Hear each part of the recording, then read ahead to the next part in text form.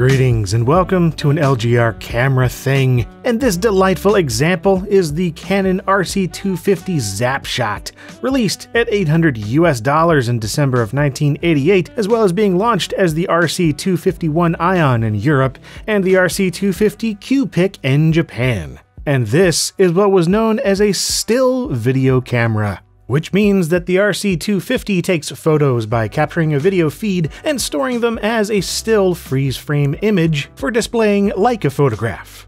And to do this, it uses these 2-inch video floppy or VF discs. Originally called Mavipaks when developed by Sony, these were built to be used with early Sony Mavica cameras. Several manufacturers later took advantage of the format, including Canon here, through the mid 80s and into the early 90s as a sort of stopgap between analog film cameras and fully digital cameras. So yeah, this is not a digital camera, even though it packs a CCD and uses floppy disks which would normally store data in a digital fashion.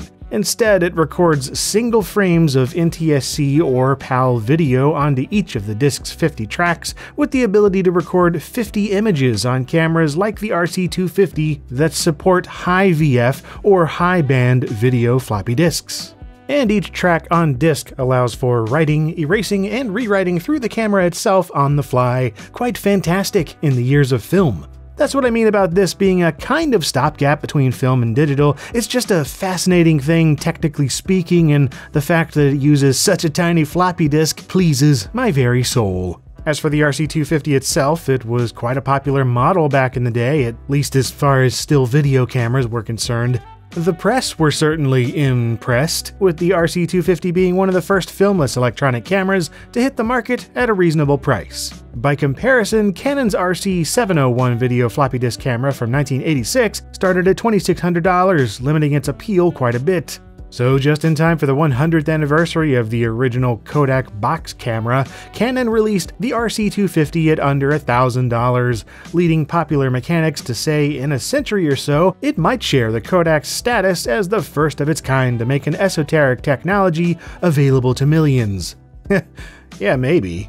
I also love how some magazines described the shape of the XapShot, such as PC Magazine describing it as about the size of a well packed sandwich. Depending on the sandwich, I'd say that's spot on. Before we get to trying out the XapShot, let's take a gander at what you got in the box back in 88.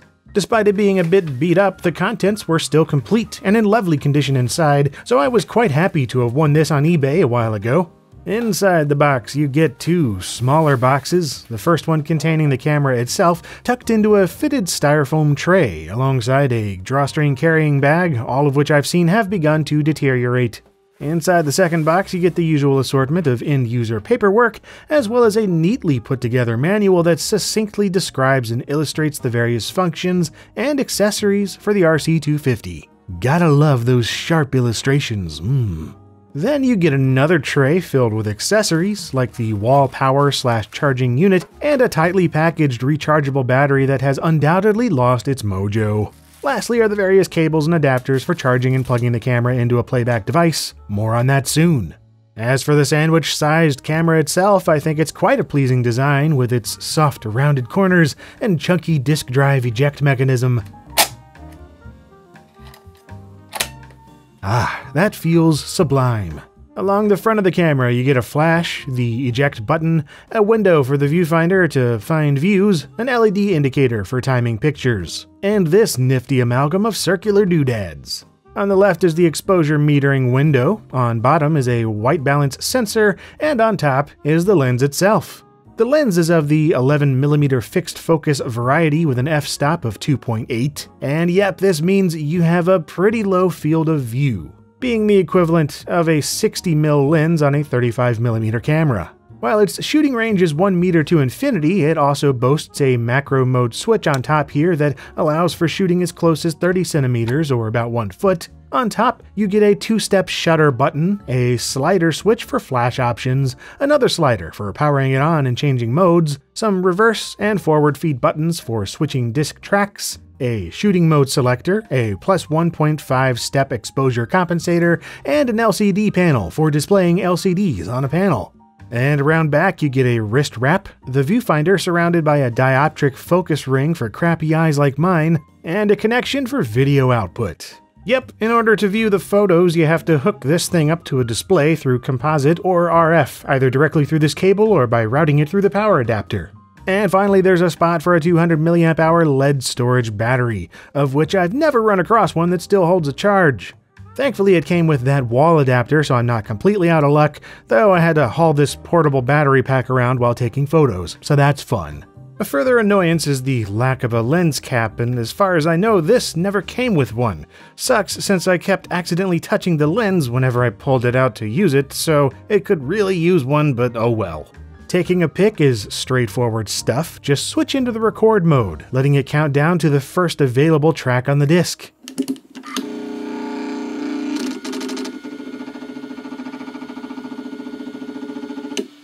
After that, press the shutter button and it'll take a picture. I just love every sound this thing makes, from the disc loading to the shutter. Sounds even cooler in the surprisingly quick continuous shooting mode too. It'll then move on to the next available track on the disc, displaying the current one you're about to record to on the LCD. And if you want to erase a photo, just move the main switch to erase, use the reverse and forward buttons to choose the track you don't want, hold down the mode button and press the shutter. Oh yeah, you're now ready to view your photos on a TV. Er, well, if it still worked anyway. So, the XapShot and video floppy disk cameras in general have become a bit of an obsession for me over the past year, largely because finding functional hardware is a challenge. The first one I got was this Sony MVC C1, also from 1988. It uses the same 50 track VF discs and is a truly sexy piece of hardware in my view, so I was psyched to review it. But of course, it wasn't working. It wouldn't even read a disc, and all attempts at repair were in vain. Then I got a good deal on this complete in box RC250 XapShot, which the seller said was unused, and hopefully that meant it was in fully working order. But of course not, that would be too easy. Turns out everything functioned except the ability to actually view your photos, which is the entire point.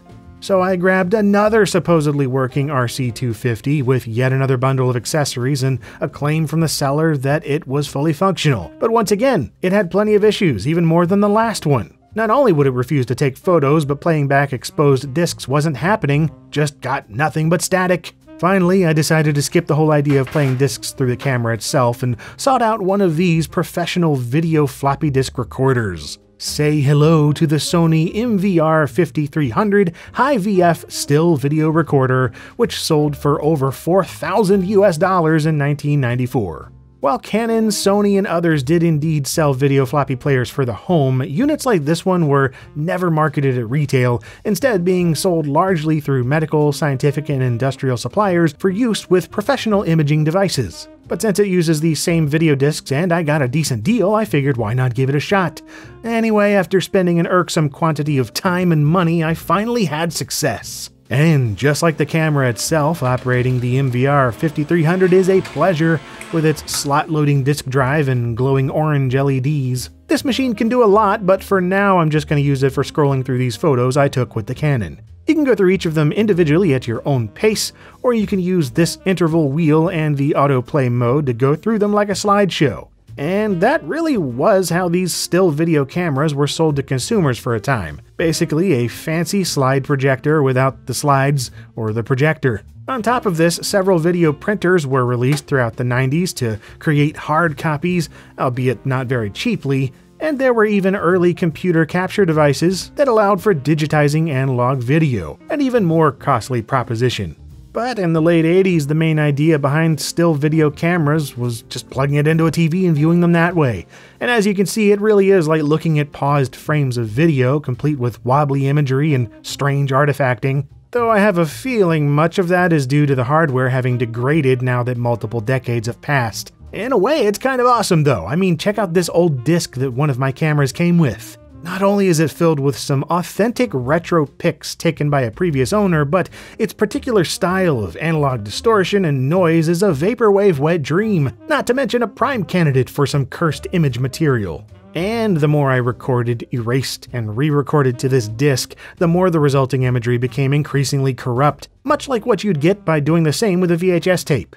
I still had similar results with new old stock video discs, so unfortunately this means that I can't show photos as cleanly as I'd prefer. Hopefully this is still decent enough to get across the idea of what photos taken with the RC250 look like.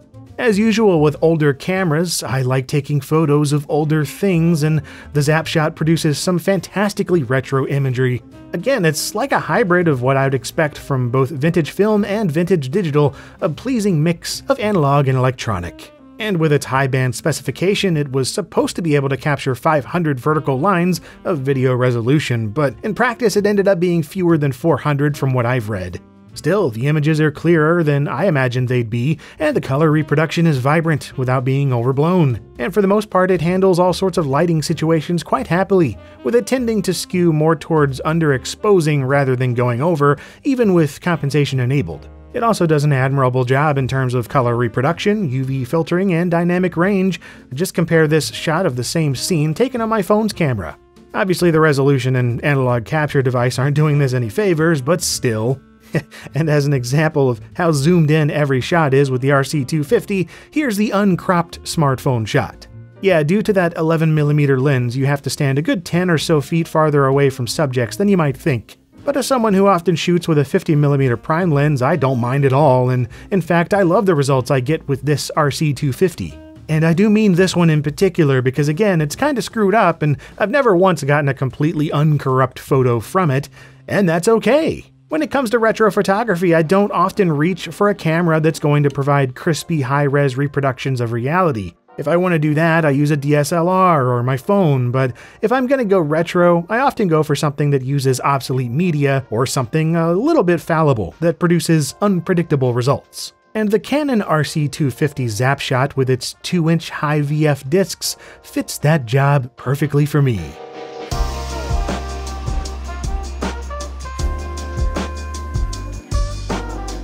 And if you enjoyed this episode of LGR, perhaps you'd care to take a look at some of the other retro camera videos I've made, or any of the other old and odd technical thingies that I cover here every week. As always, though, thank you very much for watching.